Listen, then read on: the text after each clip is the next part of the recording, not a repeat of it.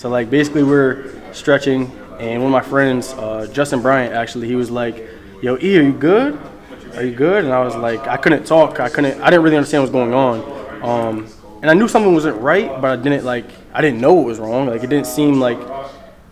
I don't know. So I just kept going. I didn't talk. I just like my mouth kept like twitching, but I was like kept doing it, kept doing it, and my right side just like stopped working, and I didn't realize. Um, I started like going to the left and like starting like leaning and stuff like that, and I almost hit um, our old strength coach, Coach Klein. I almost hit him. He said like a joke, like oh like something, because he obviously didn't know that was something was wrong, and they saw because I was going backwards, and um, when they saw my face, they were like oh there's something wrong. So the trainers saw it immediately, um, and they told me they took me to the training room. Um, they asked me a bunch of questions, and I couldn't. I wasn't responsive.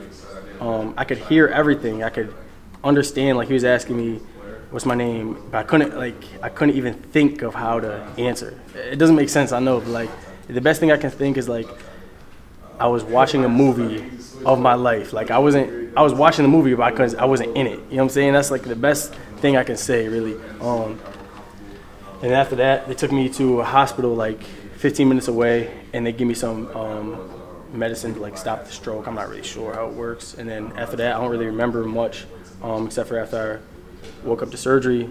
My family was there. Everybody was crying. I was like, "What happened? Like, what's good? Like, I'm trying to practice."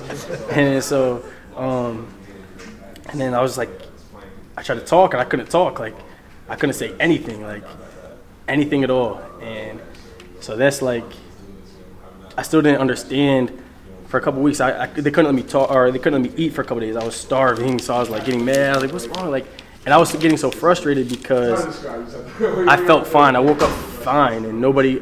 I didn't know what everybody went through. You know what I'm saying? I didn't know I was in the ICU until like two months after I uh, after got out of the hospital. Like I didn't know I was in the ICU, and like I didn't know that.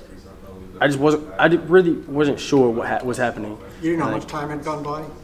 Nah, I mean, the time I was going for like I was in the hospital for 10 days, ICU for seven days, and I was I got moved to like a, a lower ICU stage or something. So I was in the hospital for 10 days, and then uh, a rehab hospital for six days. I knew how many times was going on, but like I didn't realize the severity of it. You know what I'm saying? So, um, and then like I remember like they were trying to like the first time I walked, they were like holding me. I'm like, I'm good, I can walk, like stuff like that. I, I, was getting kind of frustrated because I felt regular. I didn't realize that I had a stroke. I didn't even know what a stroke was. And then so, I don't know, it's, it's crazy. I said like when life gives you lemons, I make grape juice. I mean that's that's what that's what happens, you know. Like everybody, everybody back back home, and people say, oh, so you're done with football, right?